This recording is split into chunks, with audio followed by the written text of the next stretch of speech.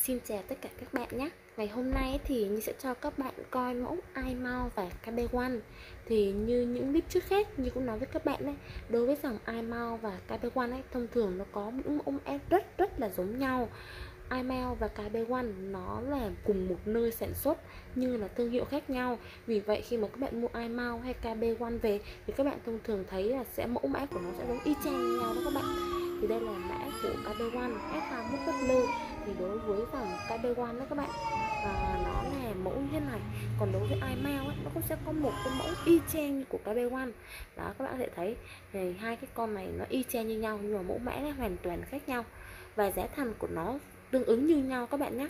Thì cái giá này hiện tại của KB1 là 580 ngàn thì cái của các con cao iMail nó sẽ rẻ tầm hơn khoảng 10 ngàn nó ngang ngang như nhau các bạn.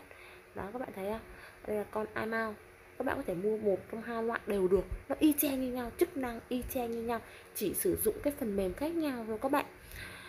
Nó là con ờ, xoay ờ, không có xoay các bạn, cố định trong nhà. 2.0 megapixel có tích hợp mic và loa và đàn thoại hai chiều.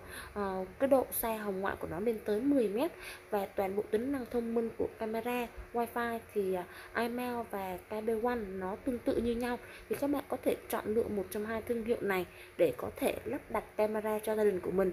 Thì bất cứ một khách hàng nào bất cứ các bạn à, mà sĩ kỹ thuật muốn mua về tự lắp thì các bạn cứ liên hệ trực tiếp với Như. Như sẽ cố gắng hỗ trợ các bạn một mức giá tốt nhất và uh, hướng dẫn các bạn chọn lựa camera uh, tốt nhất phù hợp nhất với công trình cũng như là cái vị trí mà các bạn mong muốn các bạn nhé.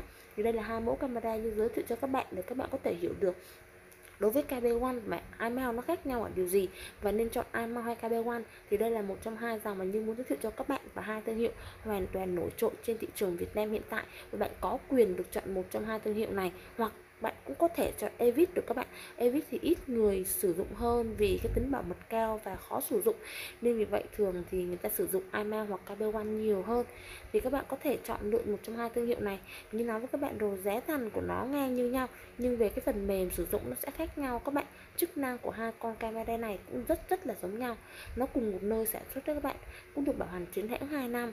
Và đối với Như thì sẽ luôn luôn hỗ trợ những kỹ thuật muốn uh, mua về tự lắp hoặc lắp cho khách hàng thì các bạn cứ liên hệ trực tiếp với Như. Thì sẽ cố gắng tìm cái nơi phân phối với cái mức giá tốt nhất cho các bạn có thể các bạn tự lắp được. Các bạn nhé bất cứ một cái thắc mắc gì về camera các bạn có thể liên hệ trực tiếp với Như để Như sẽ tư vấn cho các bạn và hỗ trợ các bạn một mức giá tốt nhất đây cho các bạn coi kỹ lại một lần nữa các bạn nhé. Thì đối với dòng KB1 ấy, thì ở dưới chữ của nó sẽ là KB1 còn đối với dòng email thì chữ của nó sẽ là email nhưng không cái cái cái thiết kế của nó y chang như nhau không khác gì các bạn nhé.